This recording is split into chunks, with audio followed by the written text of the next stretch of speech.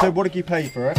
I paid roughly cost price seven thousand. He would have sold it for fifteen. Interesting to find that out because I'll get I'll give you a breakdown. Yeah, I want you lot to check it. I think that'll be dope. I've never ever done that before. So a way to tell if it's gold or not, just really easy like this. There's hallmarks and assay stamps. So this has 375, indicating it's 9 carat gold. Okay, okay. So you got sapphires on it, you got diamonds on it. It's fire. There's no inclusions in them, bro. They're definitely VSs. They got no black carbon in them. Come on, my guy. Natural. I can see it straight away. How he's done this, a 3D print, so he scanned it, printed it with all those little concaves in it to mount them in. Most rappers have hollow ones, bro. Yeah, yeah, yeah. Nah, this one's solid. It's I solid. can feel the weight. If I conk someone in the head with that, they're gone.